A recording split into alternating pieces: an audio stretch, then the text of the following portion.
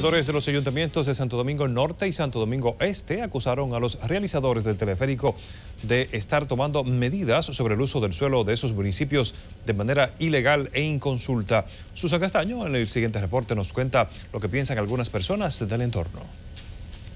El anuncio de las autoridades encargadas del teleférico de Santo Domingo de que no será posible la construcción de edificaciones más de dos niveles o acceder al techo de una contracción de tres plantas en la franja de 5 kilómetros generó reacciones en actores de la municipalidad. Para el presidente del Consejo de Regidores de Santo Domingo Norte, José Antolín Polanco, esa decisión fue tomada de manera unilateral al violentar la ley desde que iniciaron la construcción, al excluir a la administración municipal. Nunca han pedido uso de suelo a la alcaldía, que es lo primero que debieron pedir, certificaciones de uso de suelo para poder construir lo que están construyendo. Está bien que eso es una obra gubernamental, que debemos dar toda la facilidad del mundo, pero eso a que ellos no tomen en cuenta la municipalidad, la alcaldía, la administración municipal para los permisos necesarios, y esa es otra cosa.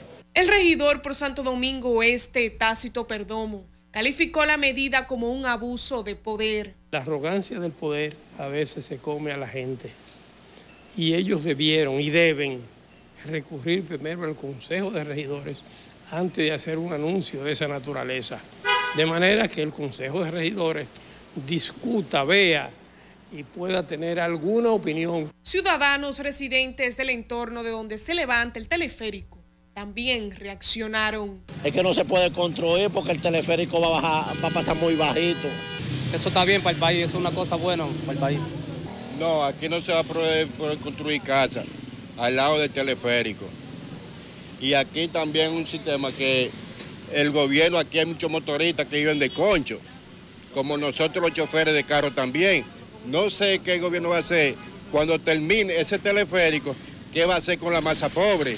El teleférico de Santo Domingo constará de cuatro estaciones, dos de ellas ubicadas en Santo Domingo Norte se ubican en los cerros de Sabana Perdida y en la avenida Charles de Gaulle, esquina carretera La Victoria. Las otras dos se encuentran en Gualey, en el Distrito Nacional, y en los Tres Brazos, Santo Domingo Este. Susan Castaño, NSDN.